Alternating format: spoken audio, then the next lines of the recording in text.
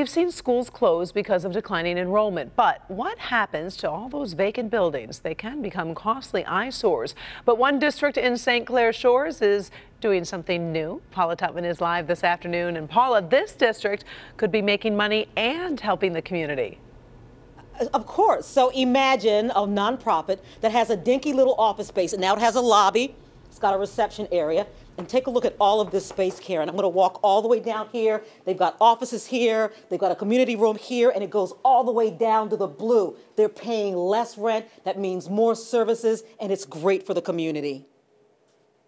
South Lake School District is a tiny school district in St. Clair Shores. Eight years ago, with a decline in students, it had to close one of its elementary schools, Pear Elementary. As you can imagine, there's not a huge market for a used elementary school, and an empty building this size is not a huge asset to the neighborhood. It got to the point where we kind of made the, the realization that it wasn't going to sell. And so the district came up with a brilliant plan B turn the facility into office space. Even better, make that office space for nonprofits to create an environment of collaboration and service at an affordable price. This is an opportunity for us to, to bring some life back into this building and then have that have a, a positive impact on, on this community, on our own families. So I think we're down to our last spot. One of the first tenants, the Lake House, a nonprofit that provides support services for families dealing with cancer. The Lake House had been operating out of a small one-room storefront. We could only have one thing at a time.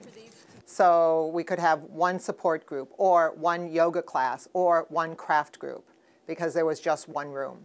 Rosemary understands the power of this nonprofit. A bride for only three days, the love of her life died from colon cancer four years ago.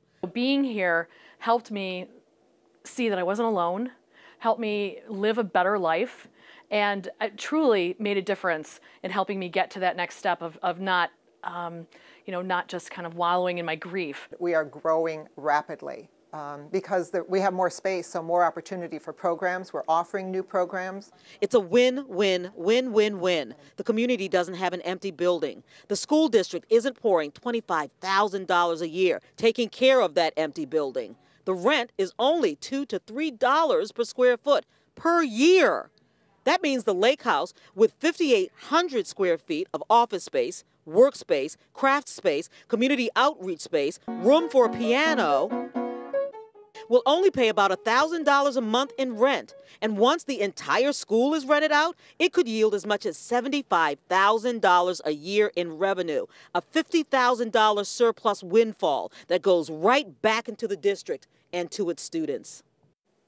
It is an incredible way to revitalize a structure as well as a community. Now, the Lake House is having an open house next Tuesday evening from 5 to 7. You can come out, learn about their mission, but also the South Lake School Administration will be here to show you office space if you have a nonprofit. Karen, they've got, I think, maybe 10 more classrooms and even a gym that can be converted into nonprofit space. It really is a creative idea, Paula, and this is one that other communities can definitely borrow for sure. Absolutely. Yes, indeed. I hope they do. I sure do. All right, Paula Tutman, live from St. Clair Shores. Thanks.